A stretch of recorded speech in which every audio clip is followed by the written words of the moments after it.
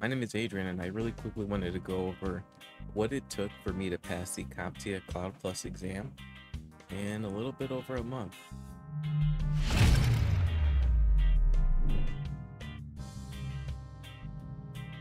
Was it easy?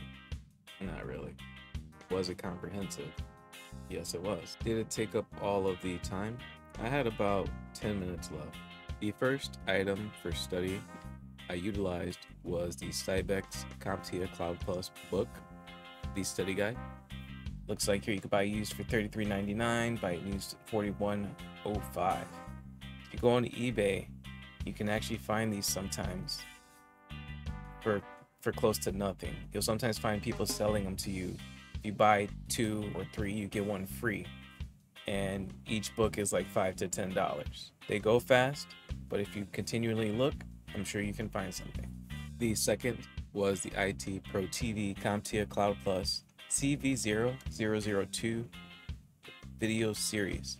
It's a total of 22 hours and 5 minutes. You can change the speed of it to go a little bit faster or slower to fit your schedule and your pace. Both were relatively good materials. The videos reinforced the reading, which I felt was the biggest benefit come test time. So the Sybex book is this one here, CompTIA Cloud Plus Study Guide, second edition by Montgomery Olson. It's a total of 10 chapters and it also has a pre-test assessment. With this book, the way that I went through the material was I would read the chapter, take the end of the chapter assessment, jot down any items that I got wrong or any terms I was not familiar with.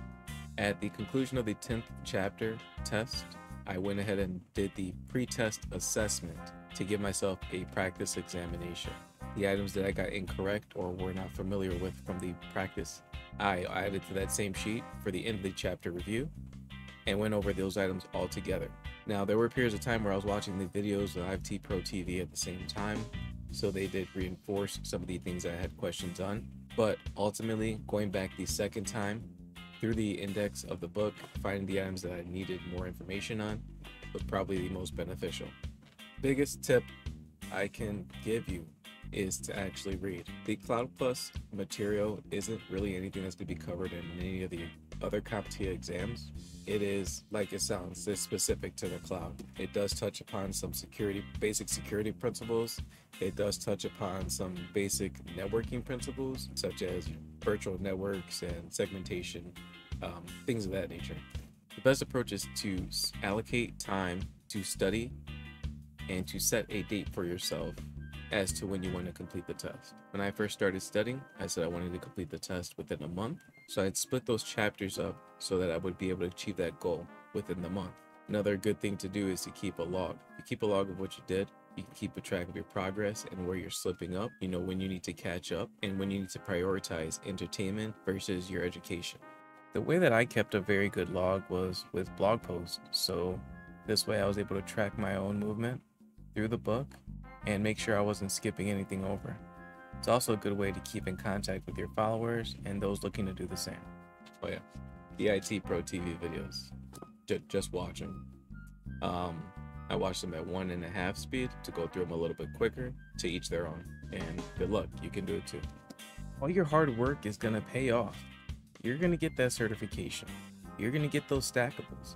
And you're gonna realize that few hours in the past is going to mean a lifetime of change.